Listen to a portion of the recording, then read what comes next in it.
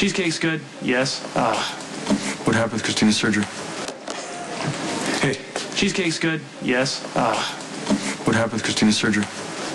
are you asking as my colleague or are you asking as my brother who second guesses everything She's my I patient do? and I'm concerned. Tell me. You know what? Actually, that was a rhetorical question. I'm surprised you didn't storm into the OR wanting to start a war over a little girl who has a fractured C7 vertebrae. What do you mean fractured vertebrae? What the hell did you do?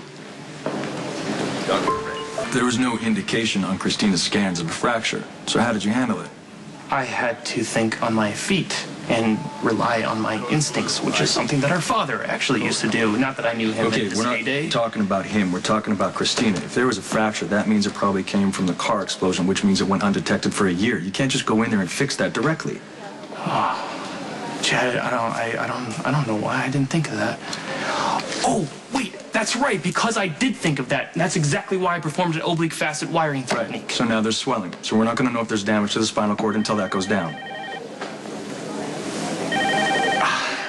I'm gonna pretend like I didn't hear that little note of hope in your voice that my patient is paralyzed. Dr. Quartermaine, 3405. Dr. Monica Quartermaine, call 3405. You need to leave. I have an injury. I want you out of my hospital. Your hospital. There you go again, Dr. Dre. Does that give you authority to turn patients away? Because I got a great lawyer. Maybe you've heard of her. Angela Dwyer. These medical malpractice damages can run into the millions. Okay. How about I uh, put you on the list? People die in hospitals waiting for treatment. Then sit. Wait. We'll get to you when we get to you. Dr. Murphy, I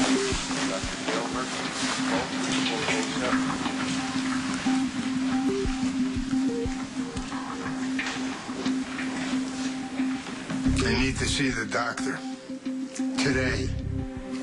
If Kristina doesn't want her mother here, maybe we could get her father. He's the last person that I want. Yeah, um, look, I'm gonna go try and find mom. I'm gonna try and find her mother.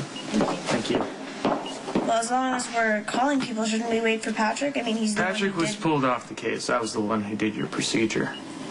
And nobody bothered to tell me?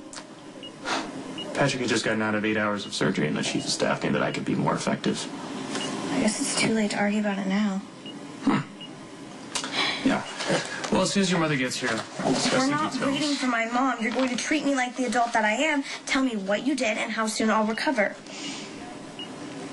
Dr. Gross, You presented with a fracture of the articular process of the C7 vertebrae. You didn't show up on your scans, that's why I performed an oblique facet wiring technique. That was Dr. effectively going to stabilize. I think we should wait for. Uh...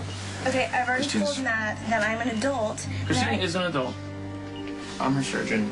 You don't need to be here. Well, I'm going to stay here, anyways. Of course, if that's okay with you. Fine with me. Well, I was just going to perform some tests so we could see where she was in the recovery process.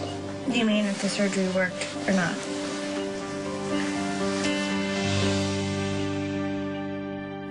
As for sensation, and at first you don't feel it, that's okay. It's just some residual nerve block from surgery, okay? Should I be doing something? You can look to the side. So I can't see what foot you're testing. Yes, and no cheating. 2OR310. Dr. Leo Julian, 2OR Left foot, I can feel it. Okay.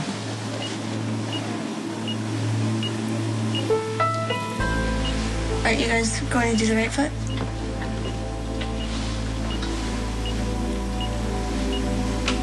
I can't feel it. What's wrong? Why can't I feel it?